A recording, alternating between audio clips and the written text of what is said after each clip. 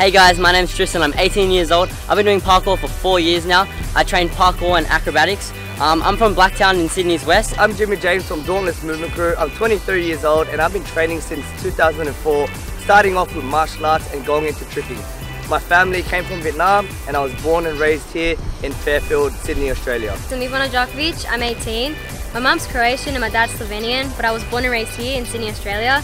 When I was five years old, my dad got me to Taekwondo, and I did that for about nine years, basic competitions, demos, and teaching classes. And I think I've been with DMC for about five or six years now. They're basically my second family. My name is Joseph Carboni, I'm 26 and I was born and raised in Fairfield.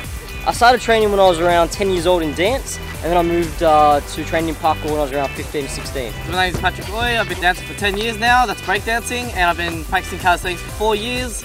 I've been down with DMC for about the past five, six years. My name is Alejandro Scarone, born and raised Sydney, Australia, Fairfield West. But my mum and dad were from overseas, from South America, Chile and Uruguay. So I started tricking and parkour around three years ago and it's been a fun and interesting journey going through injuries, going through all these crazy moves. But that one move that I'll always loved and I'll never forget is a gainer. Looks like this.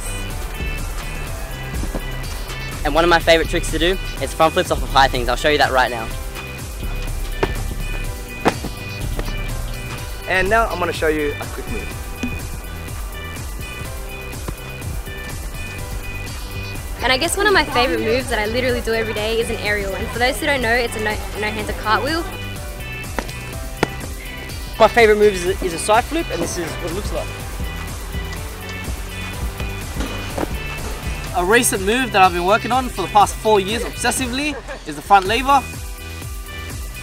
Front lever hold, just advanced calisthenics exercise. And yeah, front lever.